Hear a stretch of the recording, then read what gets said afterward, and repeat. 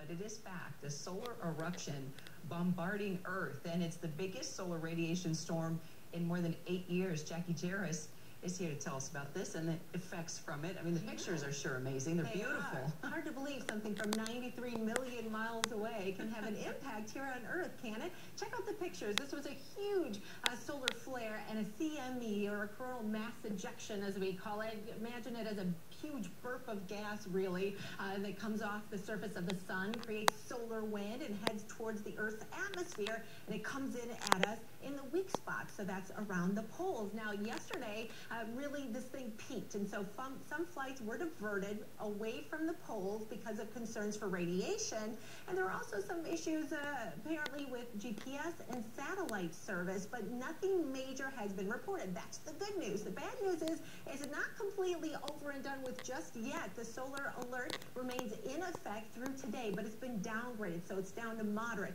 So what does that mean? Is there anything uh, you need to be concerned about? Well, passengers still in high-flying aircraft could be exposed to radiation, but the farther north up you go towards the pole, that's where that's going to be. So if you're flying across the U.S., we think you're going to be A-OK there today. And as for satellite and GPS reception, well, it's going to be really kind of isolated single incident. So basically, for the most part, this thing is over and done with. And the biggest impact that we had from it overall aurora borealis. So it was a beautiful, wonderful, spectacular display. Take a look at some of these pictures. The best pictures that we've seen so far have come from places like Norway and from Sweden. This is from an ice hotel, a snowtel, uh, as they call it in Sweden, and just amazing. So you get all these like electrically charged particles here. They come shooting into the Earth's atmosphere, and as they interact with our gases, it creates this beautiful light show. And so things have been really quiet with the sun as of late. Things are just starting to pick up a little bit. We're expected to see increases in solar activity